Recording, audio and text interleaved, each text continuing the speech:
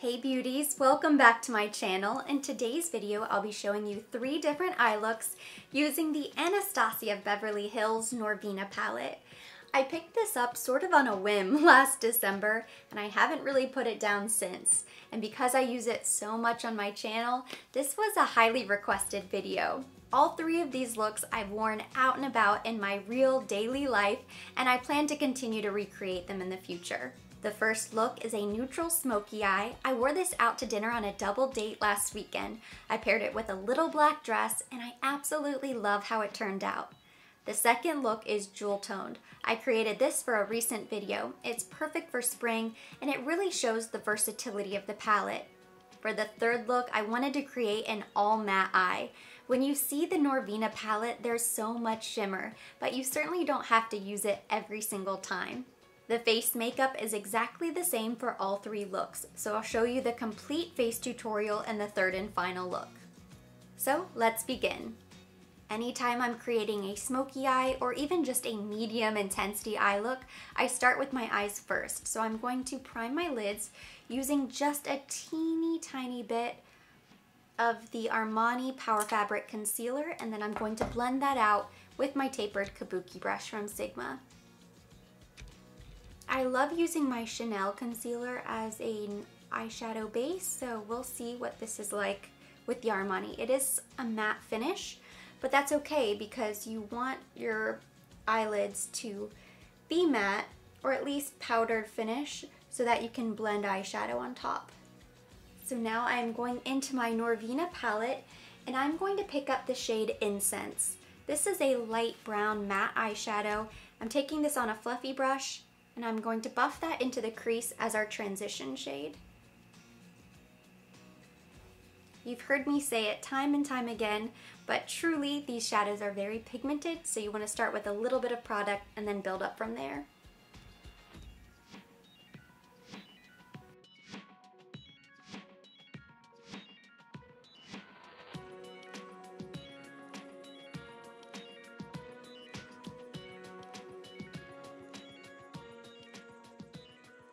Next, on a flat shader brush, I'm going to pick up this light shade in the corner.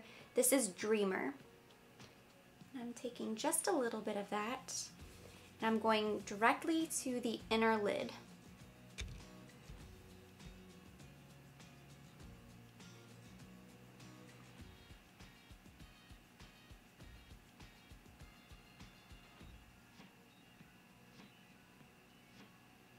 Using the same brush, I'm going into this really beautiful gold shade. This is Summer. And I'm going to take that to the middle lid.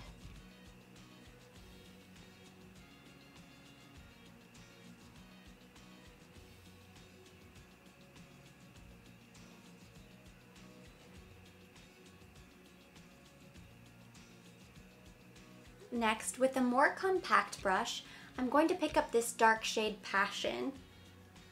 And this I'm going to pack in the outer V area for Dimension.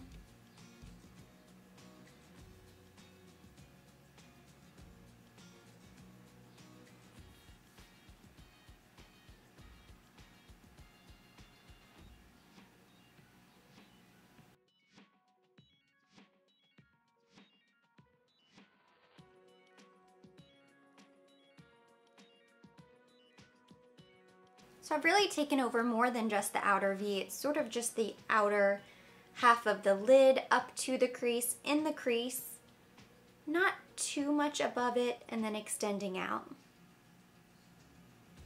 Then using a blank fluffy brush, I'm going into the crease, a little bit above the crease to soften that transition.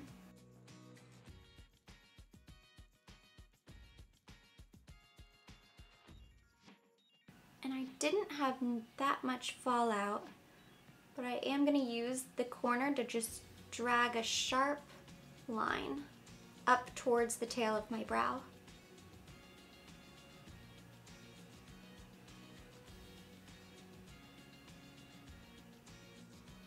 I am back, my face is done, I filled in my eyebrows, and I'm going back into the Norvina palette now with a very tiny little precision brush, and I'm going to pick up the shade Summer. very carefully because these eyeshadows are very soft. And I'm going to line the lower lash line.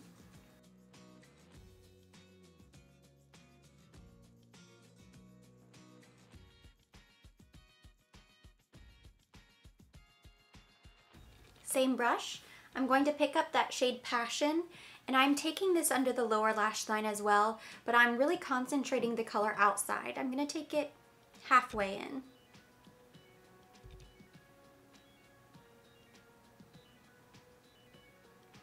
Maybe slightly more than half.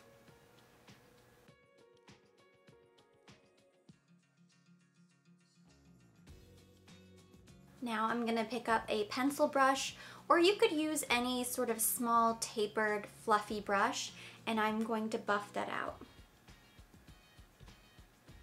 And I want to connect this shade up to the top. So I'm not really going around because I don't want it to become like a big raccoon eye, but I am starting to try to connect these two, the entire outer V area.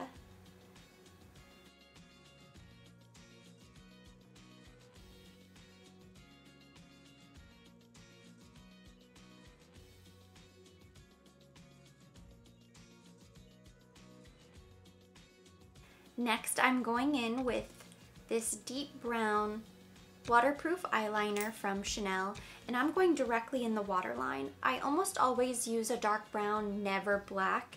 You could always use black if that's something that you prefer.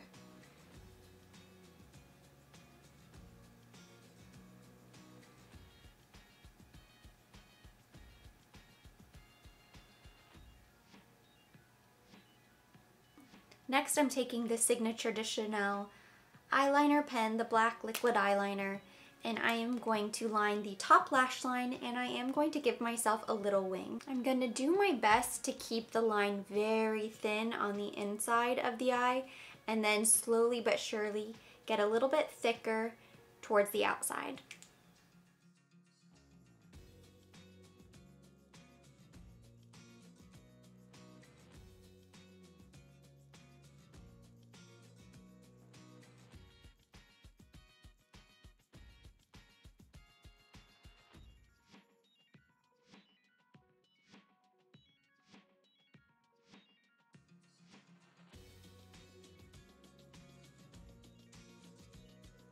And then final step, I am going to top my lashes with the Hypnose Drama Mascara.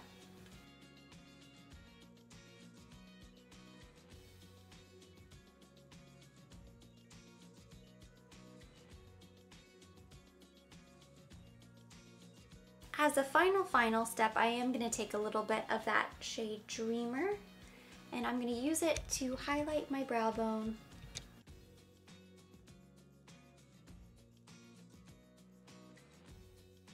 Next, I'm going to finish with lips. When I wore this look the other day, I did a nude. I think you could do a pinky nude. Because we stayed neutral, you could create this look for a gala or a very special evening. You could do lashes with this look if you really wanted to take it to the next level. I think you could do just about any lipstick color because it is neutral. I am going to opt for yeah, I'm gonna stick with a nude lip, sort of a pinky nude. So I'm going in with my YSL Rouge Pur Couture. This is the shade 70.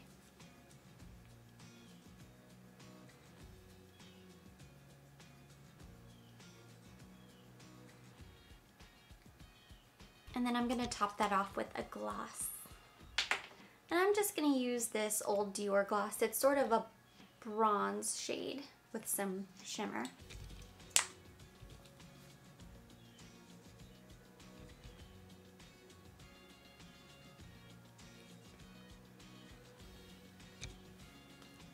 And that completes the look.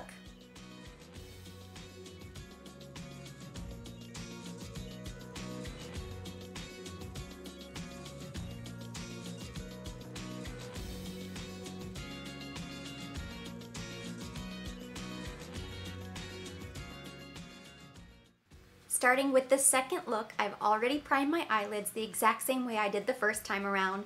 And I'm taking another little fluffy brush and I'm picking up the shade Love. this light pink matte shade down here, and that's gonna be our transition shade in the crease. So I'm just going to buff that in all over, concentrating the color on the outside.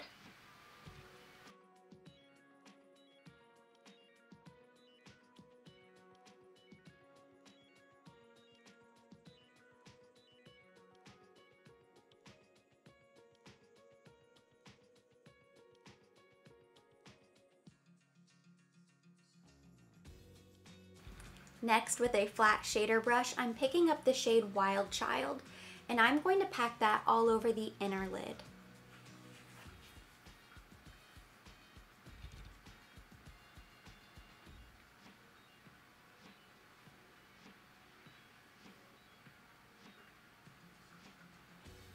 The technique is really the same or very similar to the first look. I'm just changing out the colors.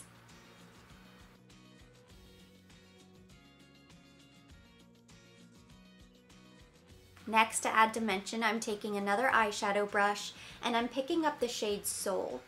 So I'm going into the outer V, outer lid area, and then using the flat side of the brush to carve into the crease.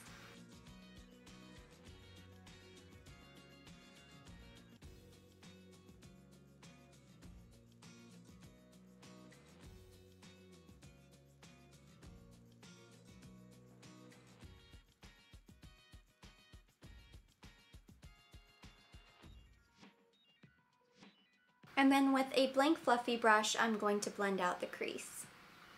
Just soften that purple shade a little bit.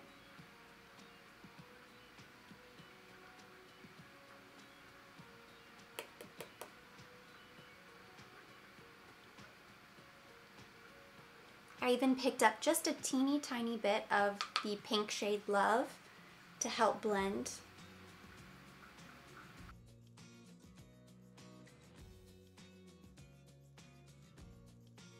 So once again, I'm going to clean up the under eye.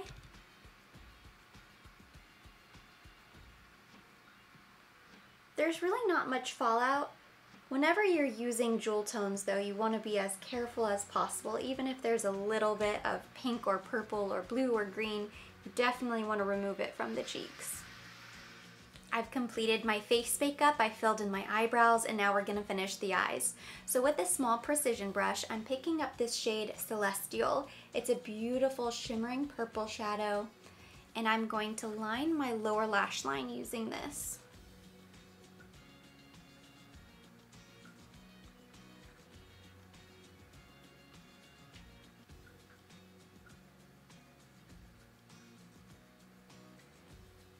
And I'm taking it all the way inside as well.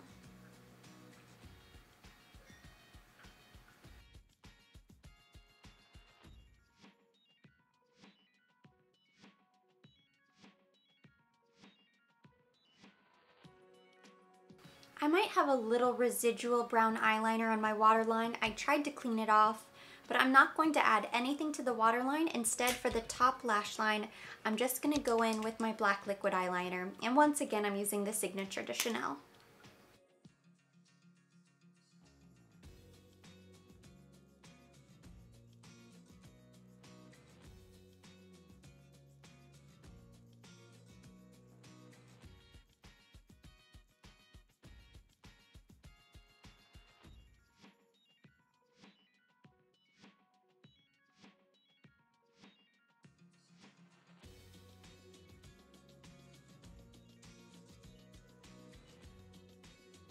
And then I'm going to go ahead and using Dreamer, I am going to highlight my brow bone and inner corner of the eye.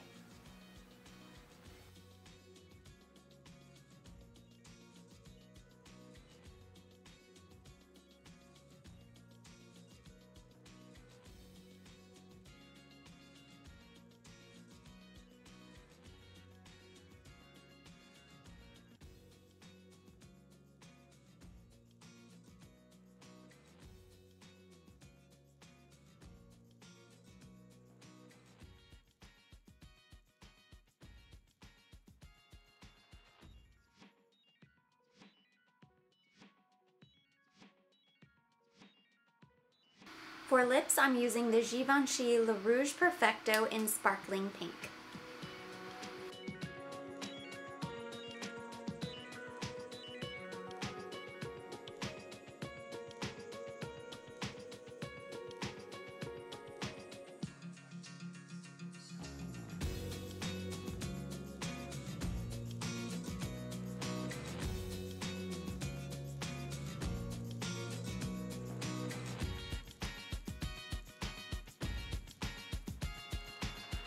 And now for the third and final look. My eyelids are already prepped and primed and I'm taking a traditional eyeshadow brush and I'm picking up the shade Eccentric right here, the second to last. And I am going to apply this all over the lid, inside, outside, up to the crease, a little bit inside the crease, but not above it.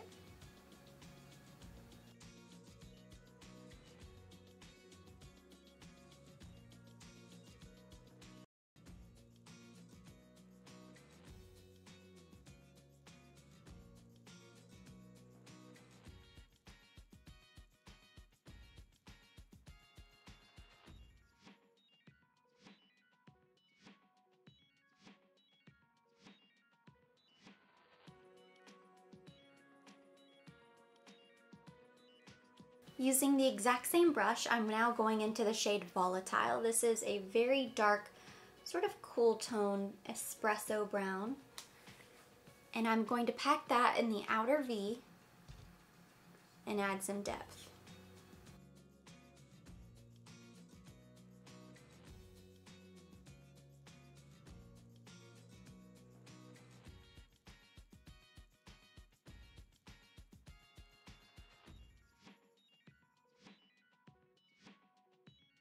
Next, with a fluffy brush, I'm going to pick up the shade Incense.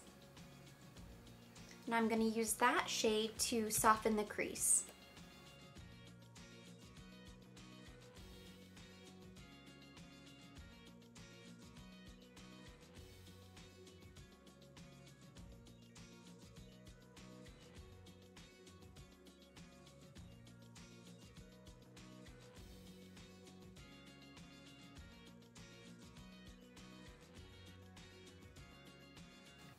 Another blank blending brush, I'm going to go on top to make sure that the eye doesn't get too dark and I'm going to go right on top of the crease area that we just blended to make it even softer.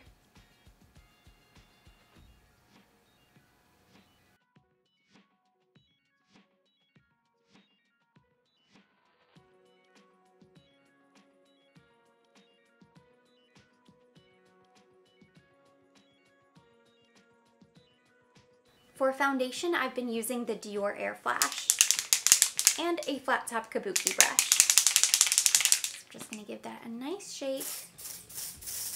I spray directly on the brush and then I buff all over the face.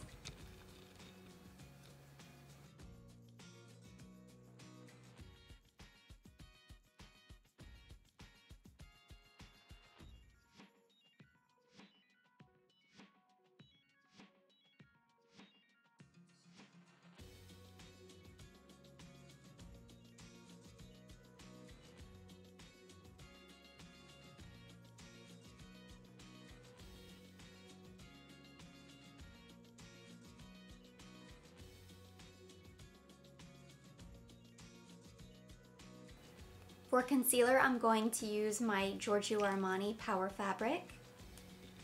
Just a few small dots is all you need.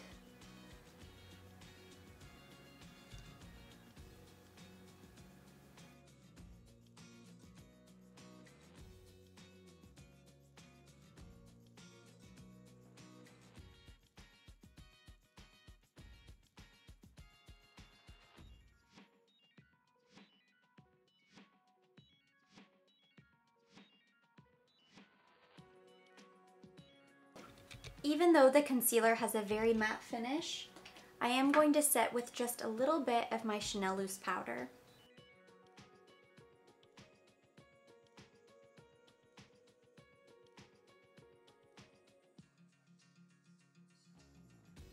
To bronze, I'm using my Soleil Tan de Chanel Cream Bronzer.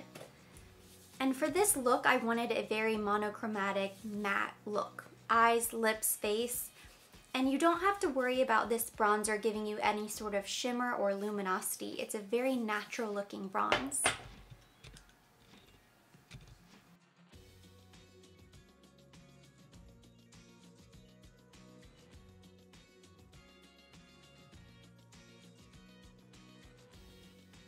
I have another one that I'm going to help use to blend.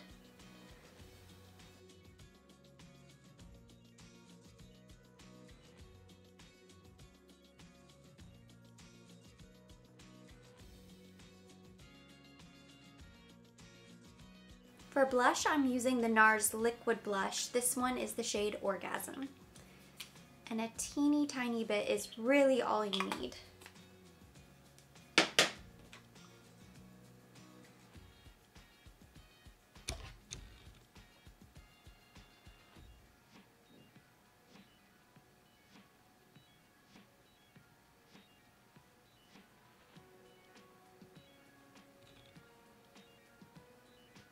For the first two looks, I finished the face by using my Tom Ford highlighter in the shade Gilt Glow. But since I mentioned I want to keep the third look more matte, I'm going to go ahead and skip this. And my skin does have a little bit of healthy glow and luminosity simply because I used the Dior Air Flash foundation. So next I'm going to fill in my eyebrows. I'm still using my Chanel and Dior pencil combination.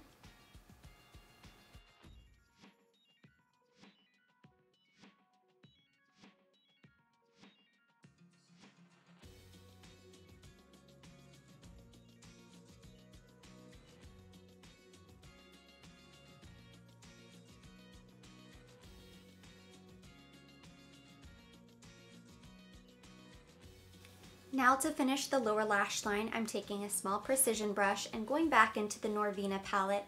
I'm picking up the shade Eccentric that we put all over the lid, and I'm gonna run that underneath the lower lash line.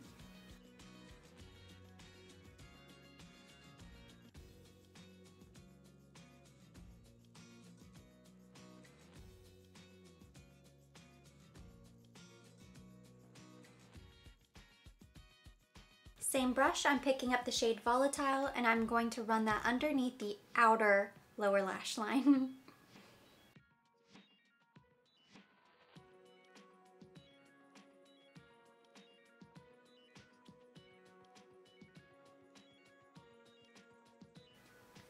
and then I am going to blend that out, sort of smoke it out with a pencil brush.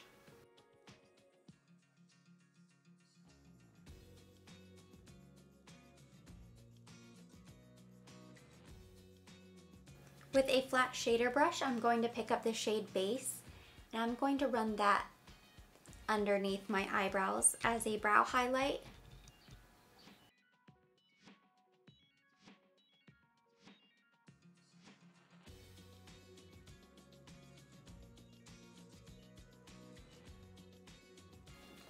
Picking up my Stylo Yeux waterproof eyeliner from Chanel, I'm going to go directly in the waterline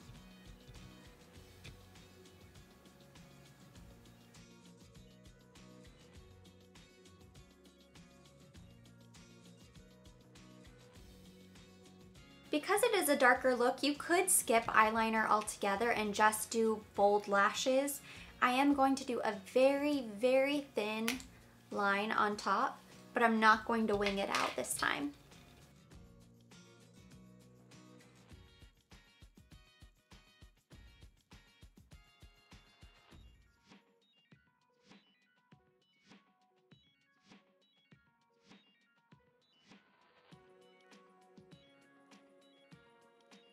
For lipstick, I'm going to use the Rouge Allure Velvet 62 Libre. This is a very pretty nude shade with a matte finish.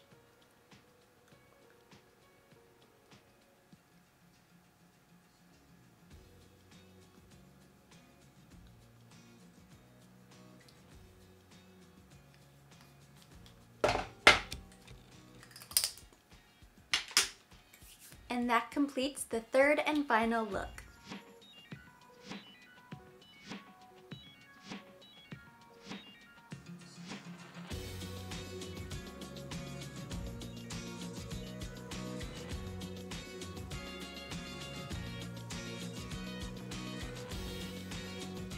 And that completes today's video. So thank you so much for watching. Hopefully you enjoyed it. If you did, give it a thumbs up. Leave me any of your comments or your questions down below. Of course, I will be linking all of the products from all three looks down in the description box for your convenience. And for more videos like this, don't forget to subscribe.